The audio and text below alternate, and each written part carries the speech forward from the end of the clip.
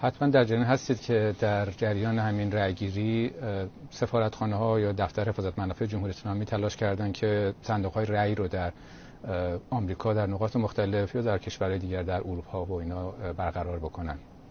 ایرانی های مخالف هم رفتن جلوی اون حوزه ها حضور پیدا کردن اعتراض خودشون رو نشون دادن. در بعضی موارد ویدیوهای منتشر شد که رفتارها کم تند و خشونت آمیز بوده با افرادی که شرکت کرده بودن در این رأیگیری. واکنش خود شما چه هست وقتی این تصاویر می‌گیرن که در جمهوری اسلامی از این قضیه استفاده کردن که بگن ببینید مخالفان این اپوزیسیونی که میگن افرادی هن که میرن رای دهنده رو مرعوب می‌کنن به اصطلاح.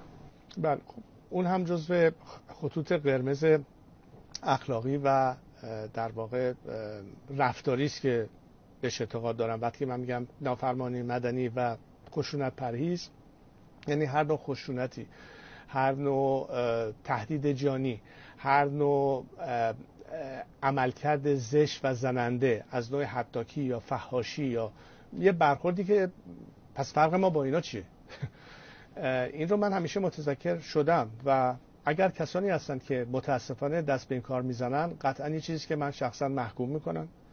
فکر کنم این خطکشی رو باز کاملا مشخص بیان کرد در ارتباط با کسانی که به این شکل بسیار زننده و یا رادیکال برخورد می‌کنن.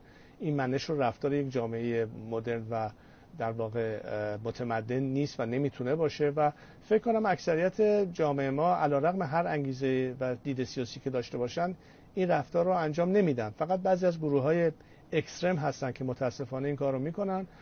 البته نبایستم تعجب کرد که شاید به نوعی هم این مسئله است که خود رژیم راه اندازی می‌کنه و جریاناتی رو به نام این جریان یا اون جریان راه اندازی می‌کنن که به ظاهر می‌گویند ما طرفدار این یا اون هستیم ولی در عمل این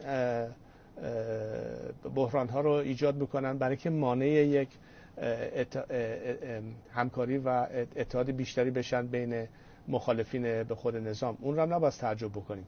ولی به هر سال در پاسخ سوالتون قطعا این چیزی که به هیچ عنوان شایسته نیست و بایستی نشون بدیم که علیرغم اینکه مخالف نظام هستیم ولی به شکل متمدنانه و به شکل غیر تهدیدآمیز یا با فحاشی یا با حرکت های غیر قابل دفاع از نظر زننده بودن قطعا اون رو باعث محکوم کرد. من قطعا این کار رو بارها گفتم بازم تاکید می‌کنم و از سایر همیهنانم درخواست می‌کنم که اونها نیز مشخصا محکوم بکنن این نوع رفتارهای ناشایسته رو. در هر جا که باشه. همونطور شما گفتید گزارشم که ما دریافت کردیم اکثریت قریب به اتفاق خیلی با رایت احترام در واقع اعتراض خشم خودشون در واقع واکنش نشان دادن. مواردی هم بوده همطور که صحبت کردیم که ناخوشایند بوده.